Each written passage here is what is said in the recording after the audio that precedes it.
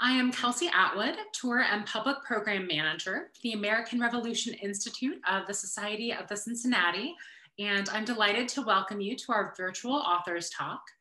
The Society of the Cincinnati is the nation's oldest private patriotic organization.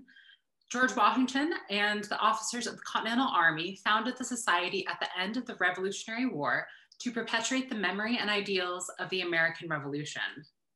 The American Revolution Institute of the Society carries out their public mission to promote knowledge and appreciation of the achievement of American independence by supporting advanced study, exhibitions and public programs, preservation, and providing resources to classrooms.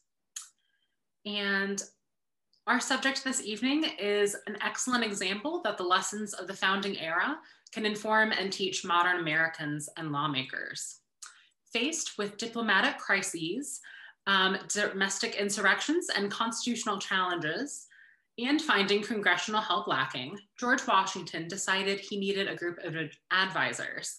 Washington modeled his new cabinet on the councils of war he had led as commander of the Continental Army.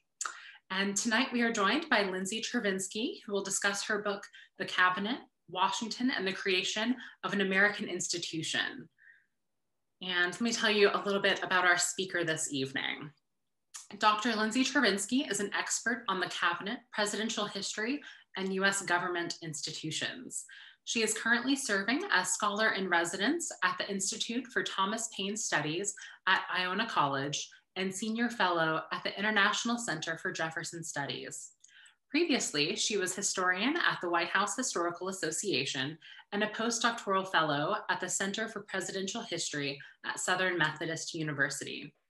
She received her Bachelor of Arts in History and Political Science from George Washington University and completed her master's and PhD from the University of California, Davis. She was also our 2015 Massachusetts Society of Cincinnati Fellow conducting research in our library.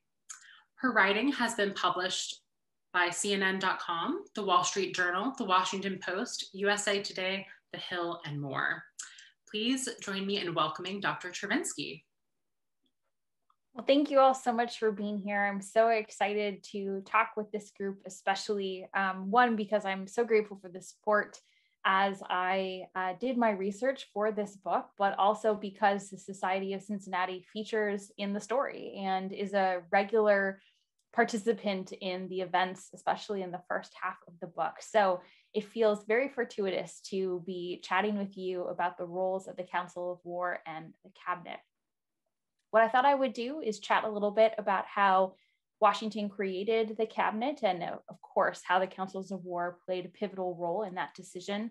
And then I would like to leave some time at the end for questions. That's always my favorite part because I like to know what you want to know more about and be able to answer those questions and give that information. So I will be sure to leave time.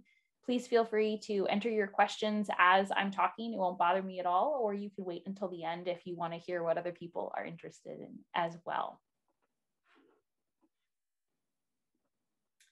So um, any conversation uh, about the cabinet really has to start with Washington's war experience. Like any human being, Washington was influenced by what he had done before. And I think too often we think of Washington as Washington the general and then Washington the president. And we really keep those two buckets very separate. But in reality, of course, he was one person. And his previous experiences, especially his leadership experiences, shaped who he was and who he would become as a president. So Washington convened councils of war before almost every major decision and every major strategic planning moment, whether that was choosing where to go for winter quarters, whether it was deciding on a battle plan, or if it was even just ordering a retreat.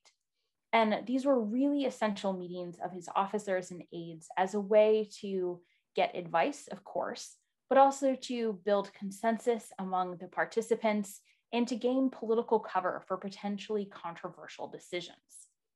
So when Washington was meeting with these councils, of course, we don't actually have photos. So these are, you know, some fanciful depictions of what may have happened, but we do know where he would have actually met. So Washington's first headquarters was at the Longfellow, well, what is now the Longfellow House in Cambridge, Massachusetts. It still stands, and I highly recommend a visit if you have the opportunity to do so. And this was where Washington um, hosted his headquarters for the first portion of the war when the Army was stationed just outside of Boston. Some of the other places were equally sort of grand and fancy and offered lovely accommodations for the officers and for Washington and his staff, like the Morris Jumel Mansion outside of New York City. But the councils also met in Washington's campaign tent.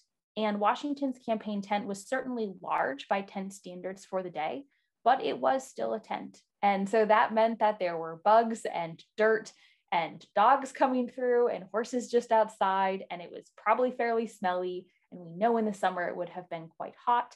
And there would have been a lot of people in this space. So it would have been very cramped and very squished. One little fun fact if anyone has the opportunity to go visit the tent, which is actually at the American, uh, the Museum of the American Revolution in Philadelphia, definitely make sure you check out the entrance. They had to actually add additional fabric to raise the height of the entrance because the standard height was too short, and Washington kept hitting his head when he was going into his tent. So they had to make a revision to the style to make sure it was taller. So that's just a fun little, I think, human element, which is really important to remember. Now, when Washington was bringing together his officers and aides, I'm sure some of you know, having studied these people, including your ancestors, that these were not small personalities. They were not wallflowers. They had big egos and ambitions and ideas about what should happen. They were accustomed to being listened to, and they usually thought they were right. So, managing all of these personalities was not always the easiest task. And sometimes um, certain individuals were louder than others.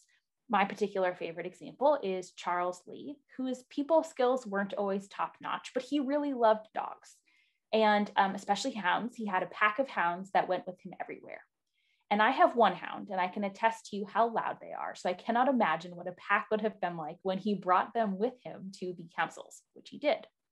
So Washington was tasked with trying to figure out how to manage all of these people and other four legged companions and trying to get the best out of his officers and aides. And he came up with a couple of strategies to try and manage these meetings.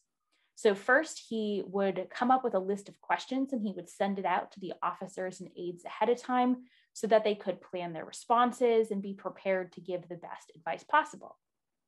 Then he would use that list of questions as sort of a meeting agenda to try and keep everyone on topic and on track with their conversation. Finally, if the officers and aides disagreed about what was the best course of action, he would request written advice. And this was really essential because it allowed Washington to muddle over the facts, to sort of think through his options. He liked to ponder before making a final decision. It also allowed him to make sure he had heard all of the information and had all the data and facts in front of him. And finally, for morale purposes, it allowed him to make sure he had heard from every single person. And this was really important because if you remember when I'm talking about sort of this loud, cacophonous sometimes very rowdy environment, not everyone necessarily wanted to participate and dive headfirst into the debate every single time. And so by getting these written opinions, he was making sure that he heard from each person and they knew that they had been heard. So it was a very important um, morale exercise. So, how does this work in practice? The New York campaign is a great example of how Washington used councils of war for political reasons. The summer of 1776 went very badly for the Continental Army, and Washington had to order a series of retreats across Long Island, across Manhattan, and finally into New Jersey. Of course, these were very unpopular decisions with Congress and the American people because New York City and the harbor were so valuable. So, losing this territory, losing the harbor was a very emotional choice, and Washington knew it would be very controversial. So before each retreat, which there were several, he would convene a council of war and make sure his officers were in agreement that that was the right course of action. Then he would send a report of that council discussion back to Congress. Now, they didn't ask for it. He sent it to them before they asked for it, but he wanted everyone to know that all of the officers had agreed that this was a really good idea and it wasn't just his fault that they were ordering this retreat. Similarly, Washington convened councils of war when he needed to build some sort of consensus. And so deciding where to go for winter quarters was one of those items that required that consensus because they had to find a location that was close enough to the British Army that they could kind of keep an eye on them and make sure the British Army didn't go out foraging or didn't go out chasing Congress somewhere. But they also needed to be far enough away that they weren't going to be surprised by an attack by the enemy. And they needed to try and find a place that had enough food and supplies to support the army. So the selection of Valley Forge was one of those moments where Washington actually convened a series of councils to try and build some consensus around a location.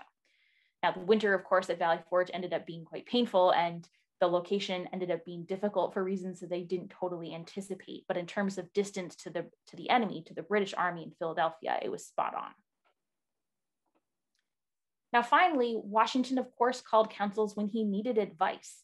One of Washington's greatest strengths as a leader, both as the commander in chief and also as president, was an understanding that he did not have all the answers. He was not always going to be the smartest person in the room. He was not always going to be the most skilled or expertise. And he needed to have people around him that could supplement that knowledge and experience. And he was not afraid to ask for it. So um, we all know the story of the Battle of Trenton when the American forces surprised the um, Hessian soldiers that were in, in Trenton and have this extraordinary moral victory. What comes after, I think, is actually a little bit more interesting. So Cornwallis marched down from Princeton and kind of surprised Washington because he made such a quick march and ended up pinning the American forces between the Delaware River and I think it's pronounced Assunpink, but I don't know. So we're going to call it Assunpink and someone can um, correct me in our conversation later if I'm saying that wrong. So basically, the American forces were pinned there, and Washington thought he had two options. He could either cross the Delaware River at night, um, but this time there wouldn't be an element of surprise because the British Army knew that they were there, and he wasn't particularly keen on trying to cross the river again with British sharpshooters taking aim at his soldiers. Or he could order a full frontal attack wasn't particularly keen on this option either because the positioning wasn't very good. It wasn't going to be a surprise, and it was likely going to be um, take a lot of casualties to actually do this attack. So Washington convened a council of war on the night of January 2nd. He convened it in this little yellow house, which was actually the headquarters of one of his generals, General Arthur St. Clair. It was a, as you can see, a pretty small building, and there were a lot of people there. So they actually had to clear out all of the furniture from the biggest room so that the maximum number of people could stand in this space. Washington had his officers, they had some aides, but they also had some local farmers whose land was nearby, and they brought them in to try and provide some local assistance, some local insight. And that worked out really well because General Arthur St. Clair was actually in charge of the far right flank of the line. And he said that some of his soldiers had been patrolling and found this little path that wasn't on the map. And Washington was able to turn to local farmers and say, you know, does this path actually exist? Is it on any maps? Will it be found by the British? Is this an escape route? And the farmers said yes, and they offered to actually guide the army through their farmland on this path all the way to Princeton. And that's what Washington decided to do. He left a couple of forces. I don't know if anyone has seen the show Turn, but this is captured in season one. He left some of the forces there as a disguise, and the rest snuck along this path and went by the British forces and up to Princeton. And it was another huge moral victory. But if Washington had gone into that council saying, I have all the answers. This is what we're going to do. And then looked for evidence to confirm it. He would have never found that third option. And so this council is a great um, example of how Washington was actually cultivating advice and input from people, including just local farmers, that he had no reason necessarily based on social hierarchy to um, respect and seek out as, as his counselors, and yet he did anyway. So, fast forward a couple of years to the presidency, and we get to the Constitutional Convention in 1787. Washington was, of course, the president of the convention and is featured as the tallest person in the painting. And the delegates at the Constitutional Convention explicitly rejected a proposal for a cabinet. They really distrusted the British version. They felt like it obscured responsibility and transparency at the highest levels of government and would foster corruption and other things that they were hoping to avoid in this new government that they were creating. And Washington was there. He heard them explicitly reject these proposals. But they were reasonable men and they put a couple of options into the Constitution, recognizing that no person can govern or lead by themselves and they need advice. And so they put in two options for the president to obtain counsel from some safe advisors. So the first option um, is in Article 2, and it says that the Senate will advise and consent on treaties and foreign appointments.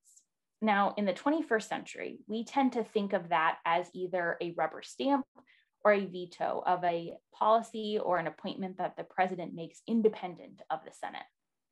But in 1787 and in 1789, when Washington first took office, they took that advised part quite literally. And the reason they did so is the Senate was only actually 22 people in the fall of 1789. The senators were um, indirectly elected by the state legislatures. So the delegates expected that the states would pick respectable, knowledgeable, experienced, qualified men that would provide good advice to the president and would remove those men if they provided bad advice. So these were safe advisors. So Washington initially intended to comply. He actually arranged his first visit to the Senate in August of 1789 he had to send some peace commissioners to an upcoming meeting with representatives from North Carolina, South Carolina, and the Creek and Cherokee nations. And so he wanted to craft instructions for what the peace commissioners should do, and he wanted the Senate's input. Unfortunately, when he arrived, he had a, an address that he gave to them, and then he had a series of questions, not unlike his Council of War questions. And he was hoping that the senators would debate and provide advice and different options for him to consider. Instead, they were silent. No one said anything. Some sort of shuffled papers and twiddled their thumbs, and many avoided eye contact. And finally, after several minutes of what must have been super awkward silence, Senator William Maclay stood up and said, You know, can we refer this issue to the committee? We would like to discuss it privately, and can you come back next week for our recommendation? Well, Washington absolutely lost it. He stood up and he yelled, This defeats every purpose of my being here. Except you have to imagine someone much taller, much larger, much louder, and much scarier, because this was the most famous man in the world, and he was yelling at you. So he eventually calmed down and he did agree to come back the following week but on his way out, he reportedly said that he would never again return to the Senate for advice. Now, the evidence on whether or not he actually said that is a little bit shaky, but we know that he was thinking it because he never again returned for advice. So, just a couple of months into his presidency, Washington has already decided that one of the two options that's outlined in the Constitution for advice and support is inefficient and cumbersome and not really up to the task of providing the support that diplomacy required. So he turned to the second option. Also in Article 2, and it says that the president may request written advice from the department secretaries. Now, this clause is crafted incredibly carefully. First of all, the president may require advice. He's not obligated to do so, and he's not obligated to listen. Second, the advice is supposed to be in writing. And that's really important because the delegates had been super concerned about transparency. And they felt if they required the advice to be in writing, then there would be a paper trail of evidence about who said what and who advocated which policy, so that the American people and Congress could hold the president and his advisors responsible when they made bad choices and they knew who to basically blame for those bad choices. So Washington initially said, Great, I will use written advice. And he started requesting um, reports and data back from his department secretaries. But even today, when we're texting or emailing, sometimes you know things get lost in translation or the tone isn't properly conveyed, or maybe we'll forget to say something and there will be a follow-up question, and then all of a sudden you'll have an email chain that's a mile long. So now try to imagine that you're doing that with parchment and quill. And you have to write it out, you have to wait for it to dry, then you have to wait for it to be delivered. Then you have to wait for the other person to go through the exact same process. And then what happens if you have follow up questions? So, again, this process was incredibly inefficient, it was incredibly cumbersome, and Washington was getting frustrated. So, what he started to do is he would send a letter the secretary would send a letter back, and then they would come the next morning for an in person one on one meeting to discuss any edits or revisions to correspondence or policy. So, unfortunately, the president's house in Philadelphia, where Washington spent the majority of his presidency, no longer exists. So, I've created a 3D version of what it would have looked like at the time. And it was one of the largest private residences in the city. And you can see when you look at it from the side how it was sort of added on to over time. But on the second floor, there was a small room that was about 15 by 21 feet, and that was Washington's private study. Now, this picture doesn't do a great job showing just how actually stuffed full of furniture the room would have been, especially by 21st century standards. So Washington's big desk in the corner was over five feet wide. He had three mahogany bookcases, a dressing table, a globe, a um, an iron stove in the other corner. And then when the secretaries came, he would have brought in temporary seating and a table so that they would have some place to sit or write on. So this was Washington's private space where he did all of his correspondence, where he had his daily shave, where his enslaved manservant did his hair. And it was also where he met with the secretaries when they came for those one on one consultations. And that worked for about two and a half years. And I emphasize that amount of time because it's so easy for us to think that just because a cabinet eventually happened, it was there from day one. And in fact, most historians actually fall into that same trap. But really, Washington did not convene a cabinet meeting until November 26, 1791, two and a half years into his presidency. And just in case you don't know who some of these faces are, from left to right, there's of course President George Washington, Secretary of War Henry Knox, Secretary of Treasury Alexander Hamilton, Secretary of State Thomas Jefferson, and Attorney General Edmund Randolph. So Washington has a cabinet, great what is he supposed to do with it? Uh, there it had been no previous cabinet. There was no model for him to follow. The British cabinet was certainly not a model because Americans were very, very distrusting of it as an institution. And so Washington fell back on his Council of War experience. And he used cabinet meetings for much of the same purposes for political cover, to build consensus, and of course, to get advice. And he used them from many of the same strategies. So he would come up with a list of questions, send those questions out as the meeting agenda. And then if the secretaries disagreed, which frankly became more often than not, he would ask for written opinions. So a great example of Washington um, using the cabinet for political cover occurred in 1796 Washington had sent John Jay, who was the Chief Justice, to negotiate a new treaty with Great Britain, and he sent that back in 1795. The Senate ratified it, and Washington signed it. And then it was turned over to the House of Representatives to raise some funds for one of the commissions required in the treaty. But most of the Jeffersonian Republicans in the House really hated the treaty and they were looking for any opportunity to scuttle it. And so they requested all executive papers pertaining to the mission in the hopes of embarrassing the Washington administration and undermining support for the treaty. And Washington met with his cabinet and decided what he was supposed to do in regards to this response, and ultimately asserted executive privilege for the first time. But before taking that some potentially controversial and very, very big first step, he met with the cabinet and obtained written support that they all agreed that it was the right thing to do, just in case he needed any sort of political cover. Washington also used the cabinet to build consensus. In 1793, France declared war on Great Britain and it quickly spiraled into an international conflict, which the United States had to work very hard to stay out of because it was not equipped financially, environmentally, economically, um, emotionally for a war, not to mention it didn't have an army or navy to fight with anyway, even if it had wanted to. Um, but that was very complicated because the gentleman at the center, citizen Edmund Charles Genet, who was the French minister to the United States, had his own ideas about what the United States should be doing, and he basically disregarded all of Washington's proclamations of neutrality. So the cabinet met a high water mark point in 1793 of 51 times, up to five times per week, sometimes several hours per day, to decide eventually to recall Genet from France. And to, they came up with a series of rules of neutrality that actually Congress eventually codified into legislation. But it took them several, several months of negotiations and discussions and contemplation of what to do and how to handle the situation. And so the cabinet really was a way for Washington to build consensus. Now, finally, Washington genuinely needed advice sometimes. Um, in 1791, Congress passed a whiskey excise tax. And by 1792, it was pretty unpopular in the western portions of Pennsylvania, Kentucky, Virginia, North Carolina.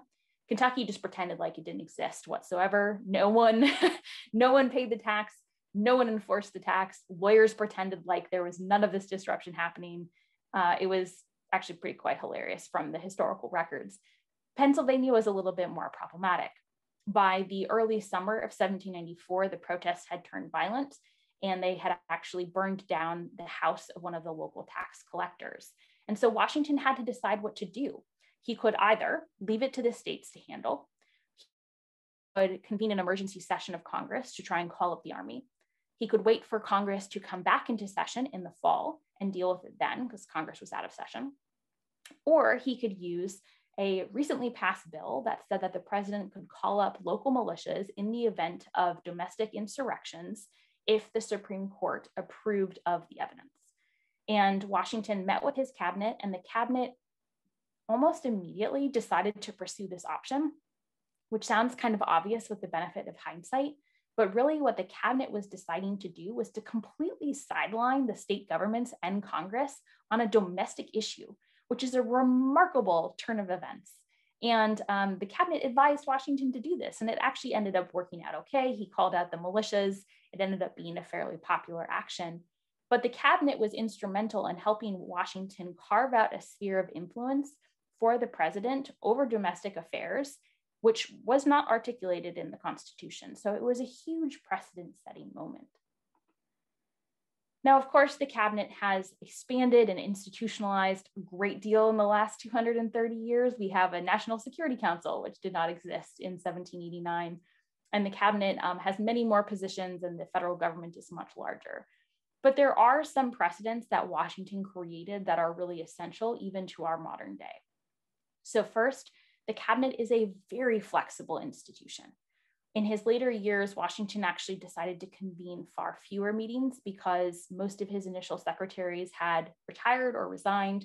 And what I affectionately call the B team wasn't quite up to snuff. And Washington often wrote in his letters that he just didn't like them quite as much as his original appointees.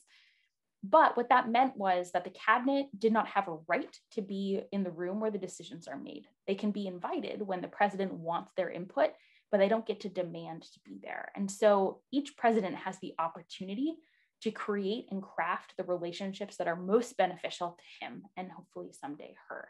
And so that's going to look different for every single administration.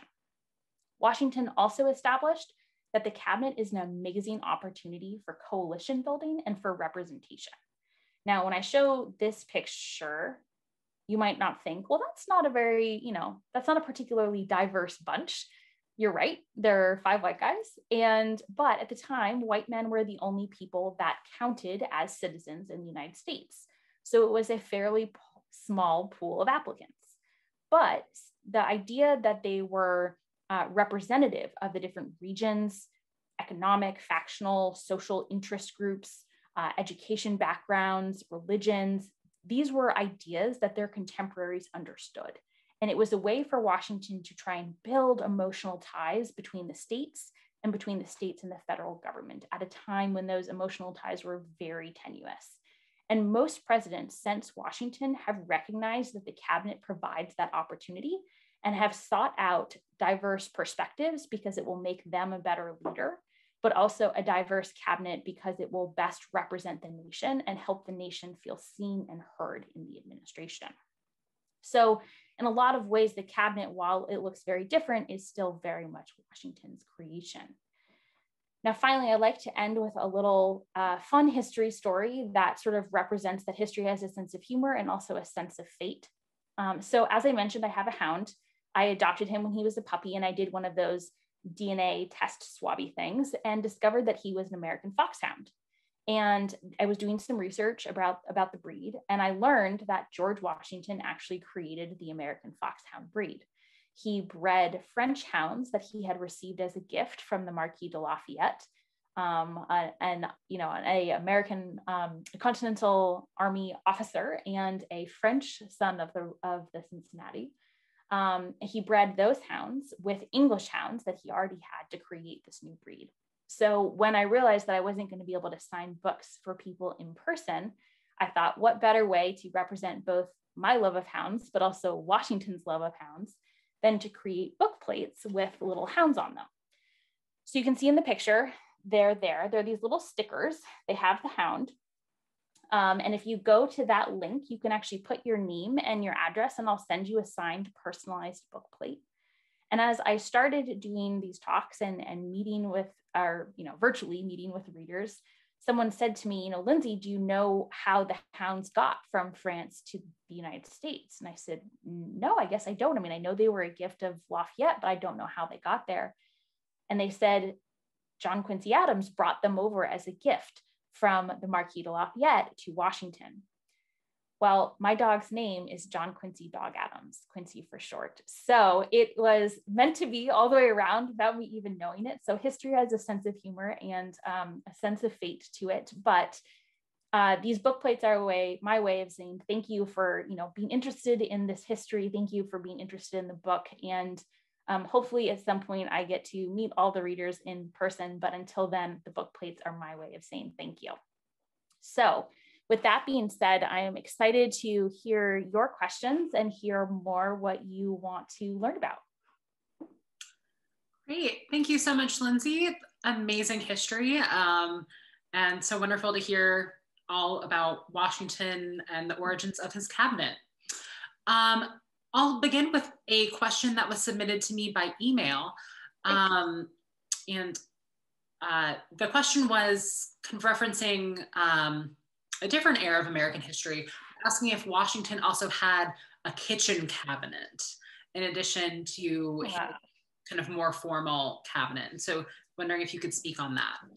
Sure, that's a great question. So um, in some ways, Washington's cabinet was kind of his kitchen cabinet because there wasn't supposed to be this institution and he kind of created it on his own. But there were people that he did consult with that didn't have official positions in the department. So John Jay, who was the Chief Justice of the Supreme Court, was a regular advisor. In fact, there's some evidence that he never left Philadelphia without talking to Washington first. So he was a regular advisor to Washington, but also to the other department secretaries at Washington's suggestion. So he was very close with Hamilton and Knox as well. And then once Hamilton actually left the administration, he continued to be a, close personal advisor, and Washington frequently sought out his input on a lot of things, especially if they were particularly controversial. Then he always wanted to know what they had to say. Great, thank you. Um, so our next question comes from David Sachar. Um, George Washington's closest advisor and right-hand helper during his presidency was arguably James Madison, Yet Madison, having, uh, despite having coined the term, was never a, member of Washington's cabinet. Um, do you think Madison would have occupied a position similar to chief of staff or White House counsel if he was working in the present day? Um, he may have in the first year. So he, you're right. He was Washington's closest advisor for the first year that he was in office. But then after that, they started to have real differences of opinions about policy. And that really drove a wedge in their relationship. Um, and, and that was also partly because for the first at least several months of the presidency, Washington didn't have secretaries in office. He was relying on Madison. But once he had secretaries in office and once they shared real political differences, then Madison wouldn't have played that role quite as much. But he certainly, I think, actually, perhaps the most interesting parallel would be sort of like an unofficial prime minister, because he spoke for Washington's interests in Congress in an unofficial sort of way. Great, thank you. Um, next question comes from Craig Howell. Um, councils of war generally have a bad reputation among military historians. Um, it is proverbial, for example, that councils of war do not fight. Was Washington's council an exception to this rule? How are they perceived? Um, that is a great question. So they certainly had that sort of bad rap early on. Um, at one point, Congress actually assured Washington that he didn't have to listen to the councils. He was supposed to make his own his own choices and his own um, make up his own mind about what uh, the army should be doing at any given point with their policies. Um, so they definitely did sort of have a bad rap. And you know, not every officer was created the same. Some gave bad advice. You know, at, at one point when they were, for example, outside of Philadelphia, there were some officers who were really pushing Washington to attack the British army in that was ensconced in Philadelphia. That would have been a very bad choice. Thankfully, enough officers were saying, no, don't do that. That, you know, that would be deadly. Um, and Washington, of course, listened to those ideas, even if he was tempted. Um, so I think that they were like most big councils, they were a mixed bag. And some Washington had had a pretty good sense of who he should be listening to within those councils. Great. Our next question comes from Scott Neal. What was the most influential source for your book? Um, so I this book would have taken three times as long, if not longer than that, without the presidential papers projects. So there's the papers of George Washington, Thomas Jefferson, Alexander Hamilton, um, James Madison. There's also papers of uh, Benjamin Franklin, and they've recently put up John Jay as well. And those papers were instrumental in understanding who they were as men and understanding their terms of service, either in the war or in the presidency. And that's for a couple of reasons. One, they bring them all into one place, and that is a very helpful service. They also transcribe them and they put them up online. So I moved around a lot while I was finishing my dissertation and then rewriting my book a bunch of times. And I didn't always have access to the same archives, but I always had access to the website. And so that was really a gift. And so any any historian who has used these these paper projects thanks the editors so much because they are they are tremendous resource. And i should say they are something that is supported and, and published by the national endowment of the humanities. And so the federal government does support them and underwrite them. And they are such an important gift to making sure our history is preserved and told to future generations. Wonderful um, so our next question comes from catherine mattingly um, when you say his cabinet or George Washington's cabinet was diverse in terms of political philosophy. Um, would you tell us how the original cabinet functioned in terms of these differences? That is a great question. So, um, Thomas Jefferson and Alexander Hamilton, in particular, sort of represented the diverse, uh, the the extreme ends of the two different positions that were in Congress, but also in Washington's cabinet. And they did so in a couple of ways. First, their life stories were about as different as you could get if you were white men.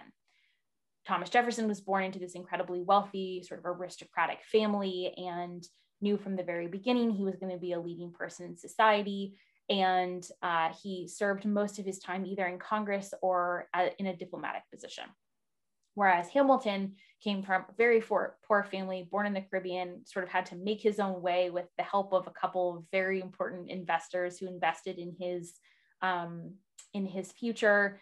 Really, sort of hard luck, Scrabble, tough. Uh, made his way into the army, had a very militaristic and martial presentation of masculinity, and that was very different than Thomas Jefferson's. But then they also had diametrically opposed worldviews. So pretty on pretty much every issue, whether it was which country the United States should ally itself with, what, where the federal government should invest its resources, who was the ideal citizen, where should Americans be living, you name it, they disagreed on those subjects. And um, it got to the point where they were convinced that the other person was a mortal threat to the future of the republic. And that sounds, you know, maybe kind of hyperbolic to us today, but they were genuinely convinced that one wrong step and the country would completely fall apart. And that played out in cabinet discussions when they were trying to figure out what to do and they were presenting these different views. And, um, you know, we tend to think that Hamilton really won out, but that is a byproduct of Jefferson living so much longer than Hamilton and Washington and leaving a written record to shape our thinking. In reality, Washington actually basically went back and forth. and often sided with Jefferson and then often sided with Hamilton and really tried to balance between the two. Great. Um, our next question comes from Cliff Lewis, and he asks How did the Senate take being sidelined by the cabinet? And then also, how did the American public view the existence of the cabinet? These are excellent questions. So, one of the things that surprised me the most was that I didn't see more of a backlash against the cabinet, given how strongly Americans felt about the British cabinet and how much they distrusted the British cabinet and how much they blamed the British cabinet for instigating the hostilities that led to the revolution. So, what I found was Americans accepted that Washington either needed advice or they accepted it because Washington created it. But if specific individuals governed in a way that looked too much like the British cabinet, then they pushed back on those individuals. So Hamilton received a lot of criticism and people compared him to Robert Walpole or Lord North, who were two particularly hated British ministers, because he appeared to be seizing too much power, to be meddling in Congress, to be sort of subverting the executive hierarchy. And as long as people didn't do that, they seemed to actually accept the cabinet. So that really surprised me. The Senate was very wary of having its power taken from it. Um, and then when that happened, they were um, definitely sort of resentful and um, aware that that process was happening. But a lot of the Federalists in the Senate worked very closely with Hamilton and Knox, and there wasn't a very good um, state secrets weren't really a thing that they did a very good job keeping quiet. So Hamilton was constantly like funneling information to the Federalists, and Jefferson was constantly funneling information to Madison and the Jeffersonian Republicans. So they kind of developed these factions in Congress to represent the different wings that they saw in the cabinet. Great. Um, our next question comes from Charlie Clark. Did the first cabinet agencies have their own offices in New York and Philadelphia? Um, excellent question. So uh, they did. Um, they had, they rented out their own little offices. Sometimes it was either in the same building where they decided to live or if it was a couple blocks away. But if you, there are some amazing records that still exist. There are state um, or city city directories. So if you look at the Philadelphia City Directory from say 1793, it lists their office and it lists their private residence. So um, today that would be horrific because that would be you know a real security lapse. But yeah, in the city directories, they listed, listed where all these people lived um, and where their offices were. And usually they were within a block or two of their home for good reason.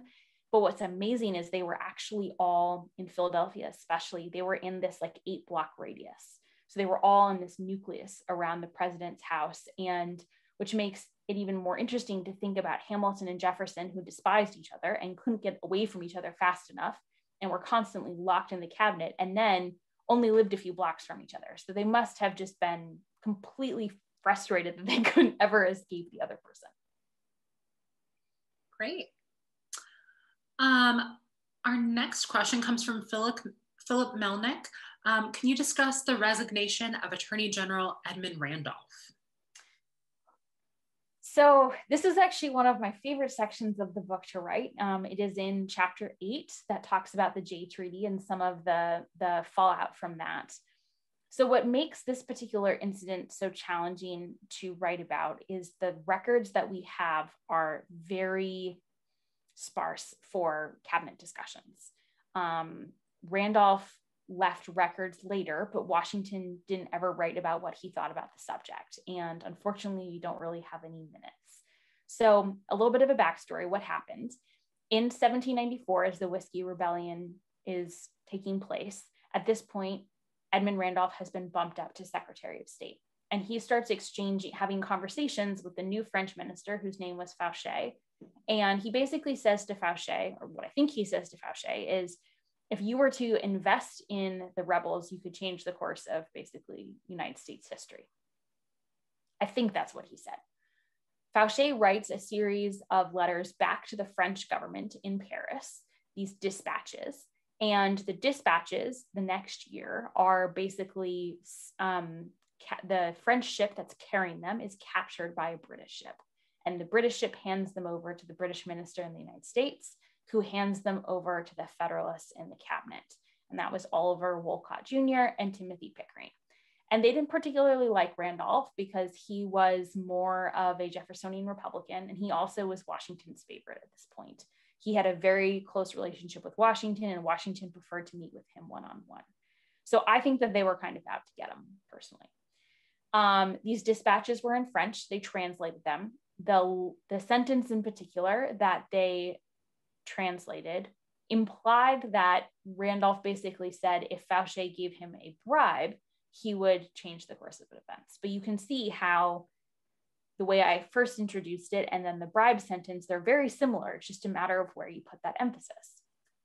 So they get a hold of these letters, they give them to Washington. Washington doesn't read French, he doesn't speak French. So he's relying on Wolcott and Pickering's interpretation, which I don't think is a very good one.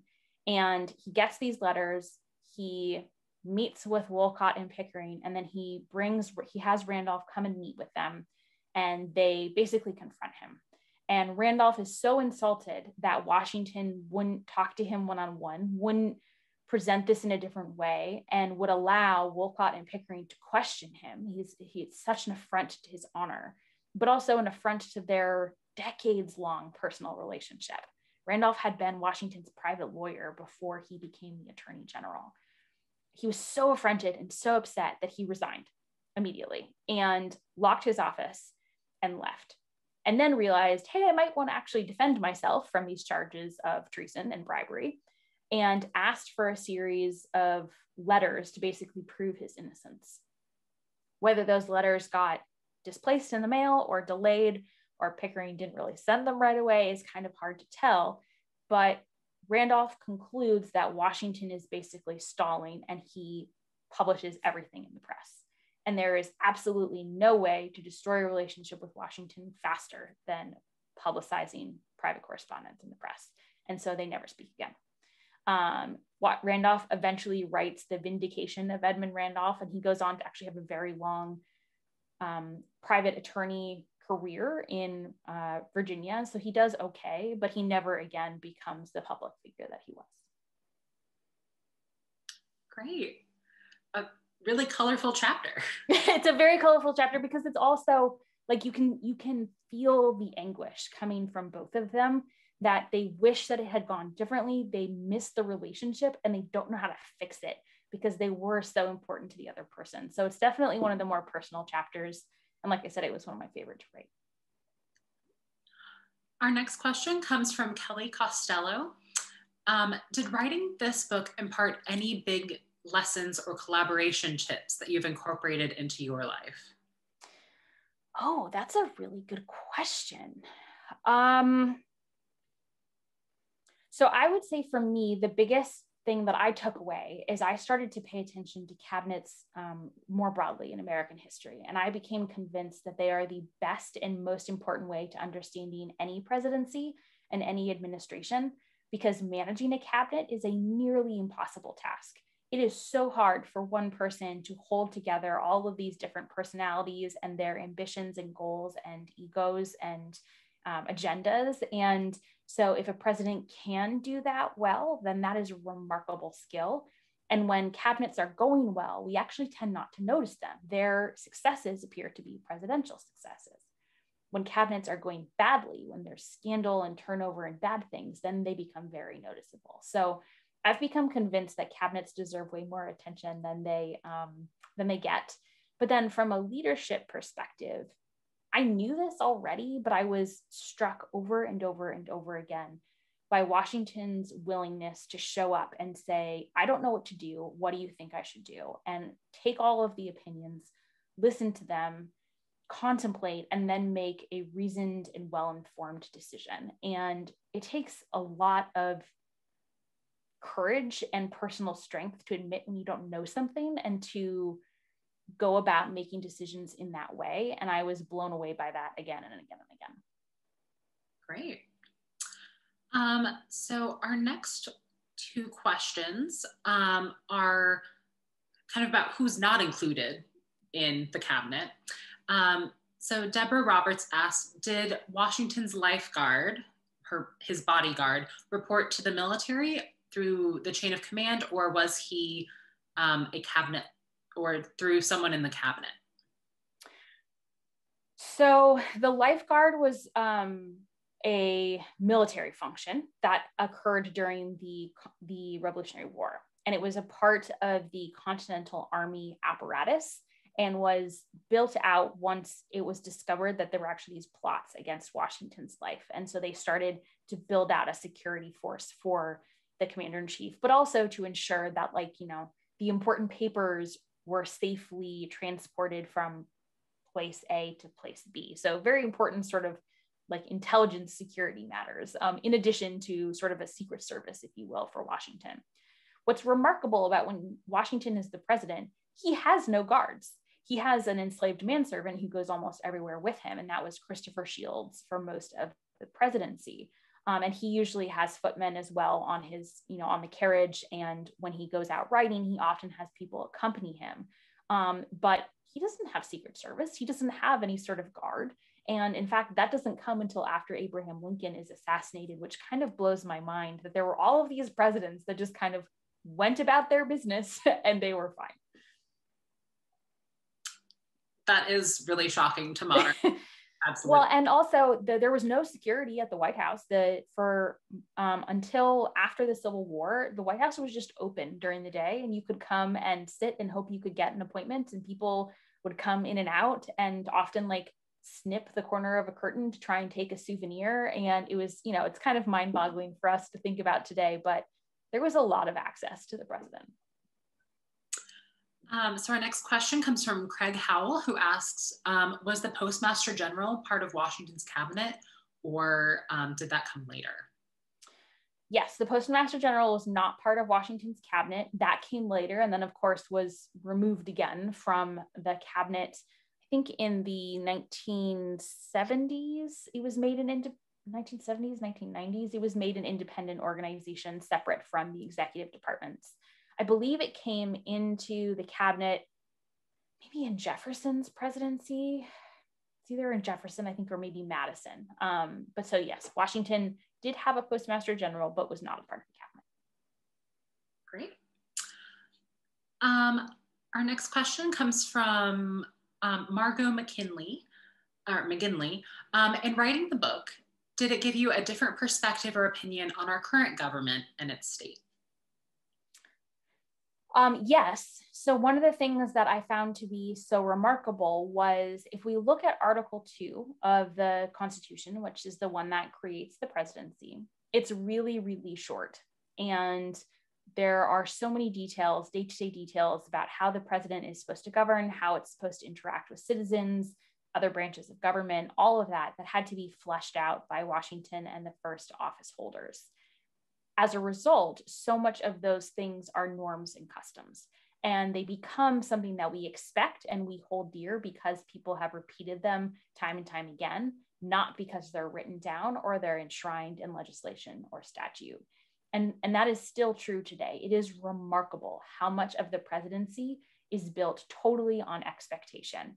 And there's very little holding that in place. And if someone doesn't want to comport with that expectation, and isn't held in place by sort of the traditional standards of public shaming or, execu- or not executions, elections, um, that makes a lot more sense, then they can get away with a lot of stuff that we don't traditionally hold to be normal political behavior. So the more that I study the presidency and the more that I study the cabinet, the more I see how much really was built out by the first couple of administrations and then has held true for most of our history. And we had two folks submit questions about John Adams. Was he ever included in the cabinet meetings? What was his role?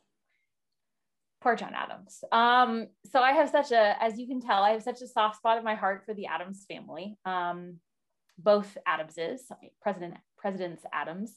Um, so John Adams, early on, Washington asked him for some written advice on especially sort of social etiquette and how the president should comport himself. In the summer of 1789, Congress debated what they should call the president. And John Adams wanted a very lengthy and regal sounding title that was, I think, something like His Excellency and Protector of Our Liberties and Justice, or something like that. I mean, it's really quite a mouthful. And um, he earned a bad reputation for it. It squandered a lot of his political capital. And a lot of senators started calling him his rotundity or the royal vice, um, behind his back or not, as the case may be. Adams and Washington certainly respected each other, but I don't know that they were ever particularly close and their personalities didn't necessarily mesh in a great way. And when this all happened, I think Washington kind of became convinced that maybe John Adams' political judgment wasn't always spot on. Later on in his presidency, Washington did ask for his input a couple of times via writing, but he was never invited to the cabinet, which I think is pretty remarkable. Great. Um, so I'll take the privilege of asking the next question. How did Washington get around the fact that Congress wanted things in writing? Um, did that ever come up? Was that was there ever fallout?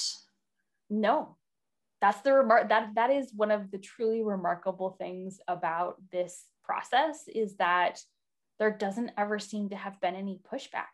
There was certainly moments where Congress asked for the papers or written correspondence about a particular issue if they you know formed an investigative committee and washington did comply with the first several of those requests and turned over the papers but no there was and you know they would occasionally ask like they asked jefferson to come speak to a committee about a particular issue but there didn't ever seem to be any pushback.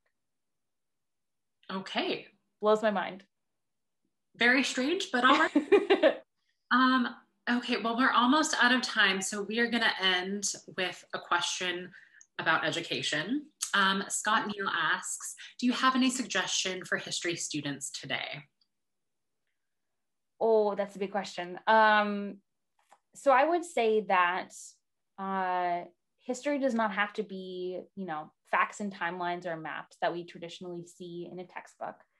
So for a student who's maybe interested, find a subject that you are that you like that you're passionate about. It can be cars, it can be cooking, it can be video games, it can be technology and start digging into that and see where that leads you. And my guess is you could probably find podcasts, you could probably find cool videos, you can probably find interesting photographs about those subjects there is a way to get anyone interested in history if you start with what they like first. Um, and that is my favorite way to start a historic conversation with someone is figure out what their passion is and go from